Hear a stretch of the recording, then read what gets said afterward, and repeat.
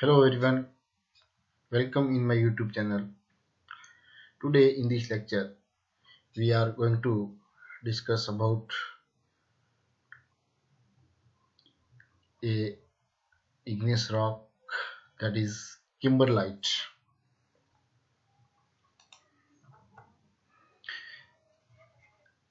This is the picture of a kimberlite pipe and here a sample in which uh, the mineral olivine is present. So first of all we discuss what is kimberlite.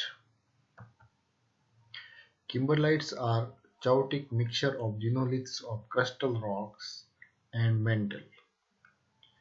Minerals released from xenolith crumbling during eruption Phenocryst minerals, alteration mineral of these previous phase such as serpentine and pieces of pre-existing kimberlites. Kimberlite is a hybrid rock which does not consider a true representation of melt composition. Kimberlite is a special kind of igneous rock associated with some diatreme that sometimes contain diamonds. Diamonds are xenoliths carried up from deep source in the mantle and often occurs in association with other gem minerals including garnet, spinel and diopside inside the kimberlite. They are most extensively mined from kimberlite pipes or from alluvial gravels derived downstream from diamond source areas. Kimberlites are derived from the Earth's mantle at more than 140 km depth. They are petrographically variable rocks comprises strongly altered breccias and tuffs. Basically, kimberlites are porphyric silica undersaturated potassium rich having 1 to 3 weight percentage of K2O peridotite with xenoliths and phenocryst of diamond and olivine in a carbonated and serpentinized ground mass. So this is the section of uh, kimberlite in which the rock is seeing that it is rich in the olivine minerals. These are the xenoliths of the diamond in the bearing upper mantle rocks.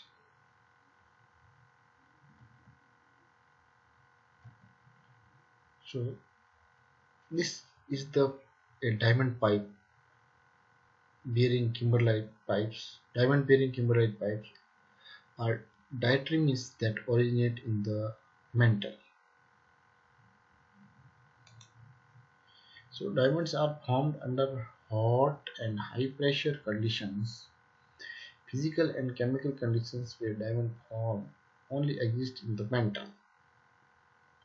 In the upper mantle, diamonds may be common minerals. Diamond is associated with volcanic features called diatremes. A diatreme is a long vertical pipe formed when gas-filled magma forces its way through the crust to explosively erupt at the surface. Whenever carbon occurs as a free species, diamonds have the potential to form. Diamonds are stable under the high pressure and temperature conditions that are only meet at great depth in the Earth's mantle.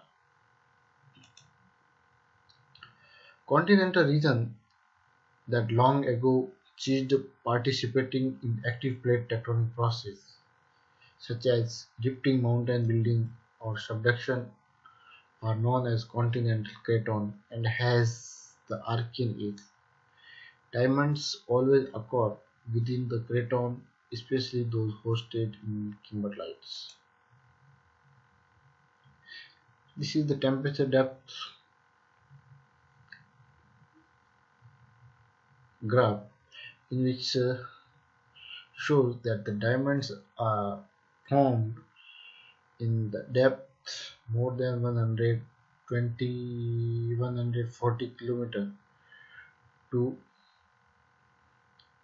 um, 220 kilometer depth with uh, temperature more than the 1000 degree celsius and pressure um, is about more than 5 GPa.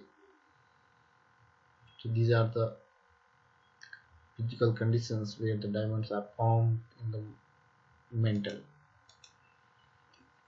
Economically important kimberlites appears to be localized in regions underlain by portions of the craton in which the older than 2.4 gigaannum.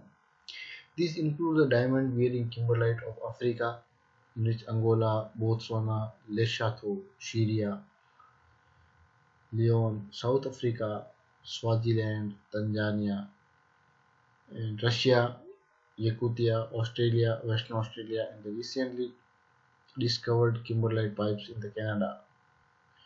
Kimberlite are also believed to be the ultimate source of the diamonds found in the placer deposits which have supplied about 90% of the world's diamond output. Some kimberlites are non-diamondiferous either because the magma was generated outside the pressure temperature stability field of diamond or because of the magma never picked up any diamond xenocryst due to non-uniform distribution of diamonds in the upper mantle. This is another uh,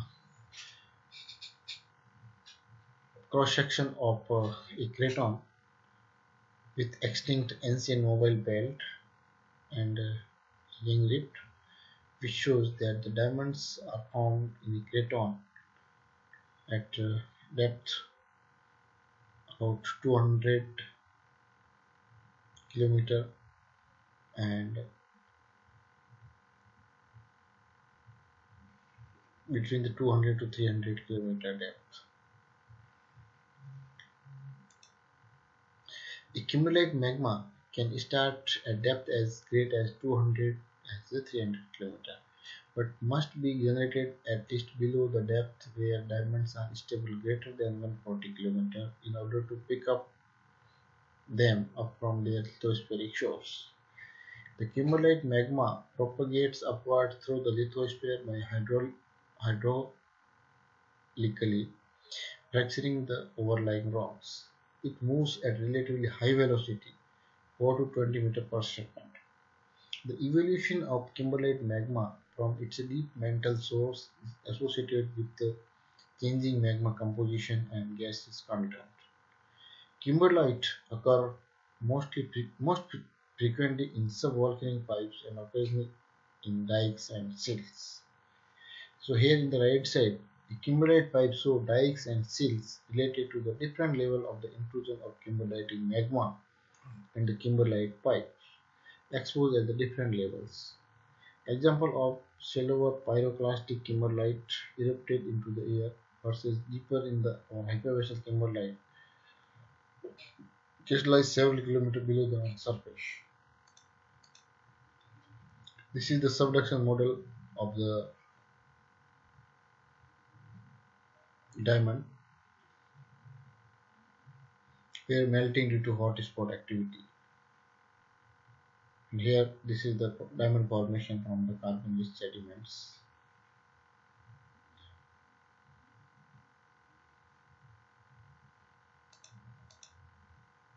So magma carrying diamonds. Diamonds are known to be carried to the earth's surface in only three rare type of magmas that is kimberlite, lamproite and lamprophyre. Of the three types, kimberlites are by far the most important with several hundred diamondiferous kimberlite known. In general, all three magma types are derived by a small amount of melting deep within the mantle, relatively high in volatile in which H2O, CO2, fluorine and chlorine contents, MgO rich, marked by rapid eruption and less oxidizing than more common basaltic magma. These magmas are carries the diamonds. So the characteristic of some non-diamond carrying magma in which kimberlite, lamproite and lamprophyre the characteristic of the color, volatile, composition setting, depth of origin, eruption style, diagnostic phenocryst minerals and typical metric mineralogy and diamond potential are in which all the three uh, magmas of kimberlite, lamproite and lamprophyre are the compared. Now, if one question is arise, why carbonatites do not carry diamonds? Then the diamond bearing rocks are distinguished from the related carbonatites by having an igneous carbonate mineral abundance of less than 50%.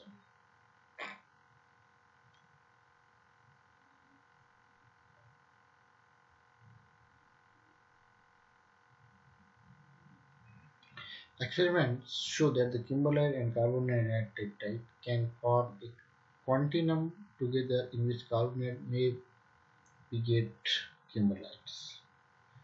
Carbonate may be ready source of diamond forming fluid, but at the Earth's surface, carbonate are almost never diamond bearing.